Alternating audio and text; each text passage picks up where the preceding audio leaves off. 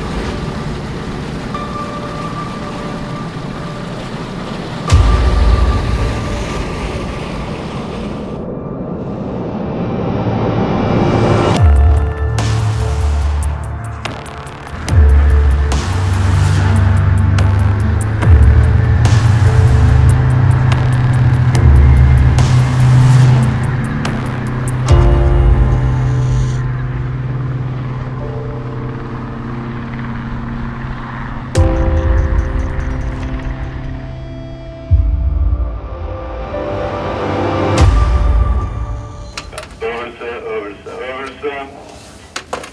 Mayday, mayday, mayday. Dette er MS Bøkfjord, Lima Charlie Golf Alfa. IMO nummer 975228.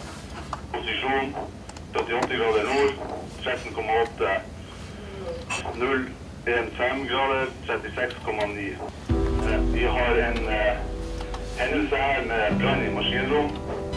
Jeg heter Espen Olsen. Jeg er beredskapsplanlegger og politi hos Sysselmesteren på Svalbard. I dag står vi midt i en storøvelse her. Vi har eh, 500 mennesker ute i felt i aksjon. Vi har tre fartøy, vi har tre helikoptre, vi har droner. Alt vi har er ute i dag for å redde mange, mange mennesker fra et fartøy i nød. Det vi trener på i dag er en masseredningsoperasjon, og det betyr at vi skal ta mange mennesker, mer enn vi egentlig har kapasitet til, og redde hurtig av et skip i nød. Vi heiser alle sammen fra et fartøy og setter de på land. Der har vi en teltleir, der de får dekka de mest grunnleggende behov, og det er her oppe i så røffe forhold vi har, så er det faktisk å overleve og ikke fryse i hjel. Etter å ha vært i telta og vi har fått kontroll på situasjonen, tømt båten, så begynner vi å fly dem hjem til trygghet her i Longyearbyen. Her på Universitetssenteret har vi etablert øvingsledelsen. Og her har vi all verdens systemer til hjelp for å gi oss den gode situasjonsforståelsen på hva som skjer der ute. Det er avgjørende for hvordan vi leder øvelsen. Vi har de samme systemene som de øvende har, og så har vi noen ekstra triks oppi ermet. Denne øvelsen er er planlagt og gjennomført i tett samarbeid med Kystverket og en hel, hel rekke andre aktører som bidrar inn til dette her. Eh, Vi har også med oss bransje i form av Eko og Hurtigruten som stiller med mannskap. Og de frivillige redningsressursene, altså Røde Kors her i Longyearbyen, markører ute. Og det er helt fantastisk. Det er en helt nødvendighet for oss for å trene mest mulig reelt. Så jeg er utrolig takknemlig som øvingsleder at vi klarer å få så mange markører.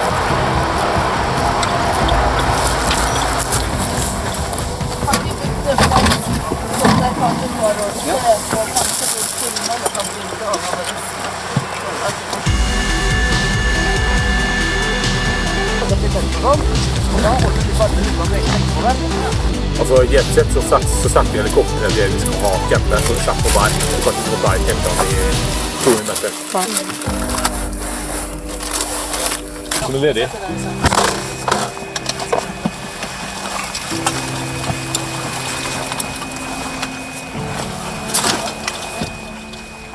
Jeg er Karina Søreng, jeg er innsatsleder og jeg leder den eh, operasjonen som vi har her på land. Eh, og det vi driver på med her, eh, vi har organisert det her som et evakueringspunkt og en samleplass for de som er ombord i havaristen.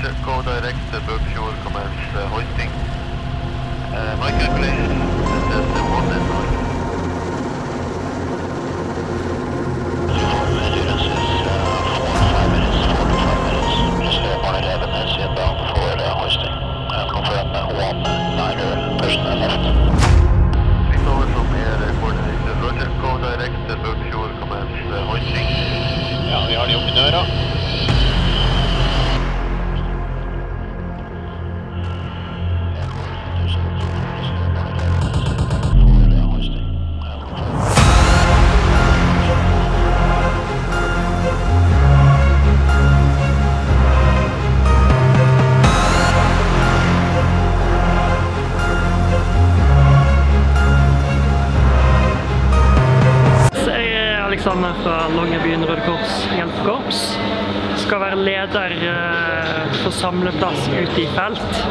Så det vil jo jeg som eh, skal organisere mottaket av pasienter fra, fra helikopter.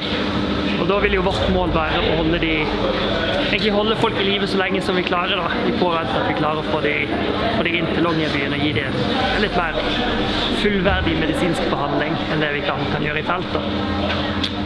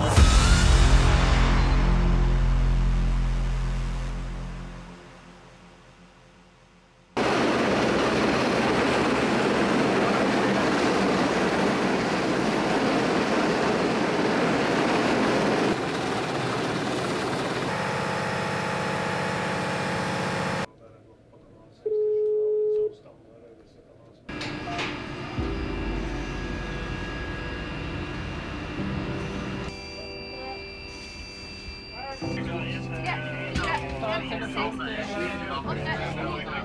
you.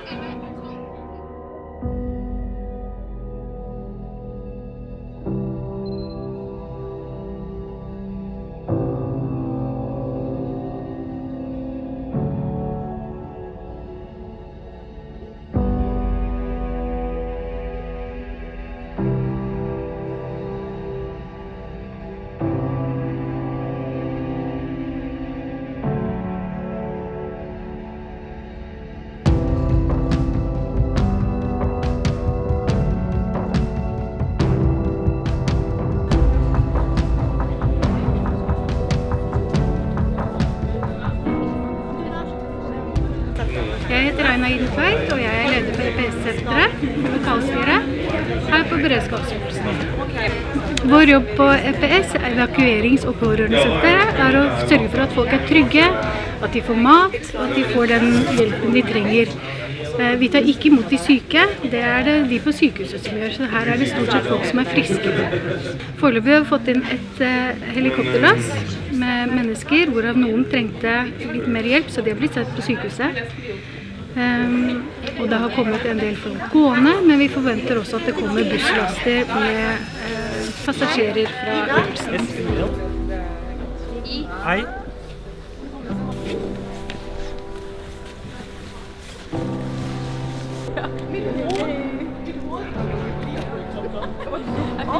Jeg har det med beinet.